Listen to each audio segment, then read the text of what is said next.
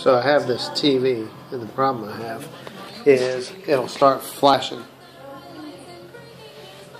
It'll just start flashing, um, especially if the screen goes white.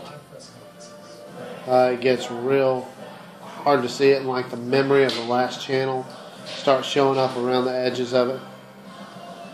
Um,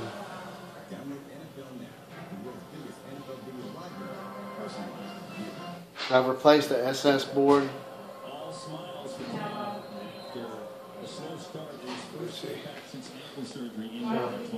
I replaced the SS board.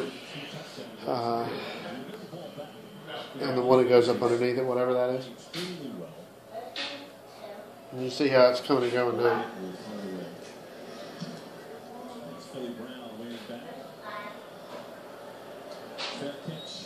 And yet,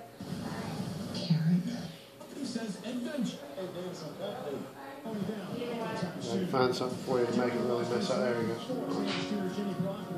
So now in the background, on certain pictures, it'll actually show like the memory of a channel. There we go. This will be a good one. Unknown factor, especially here in year number one. Yeah, it's going to drive some of these coaches crazy. See how it's flashing? Hang around there. We will uh, get It's back doing this weird flash.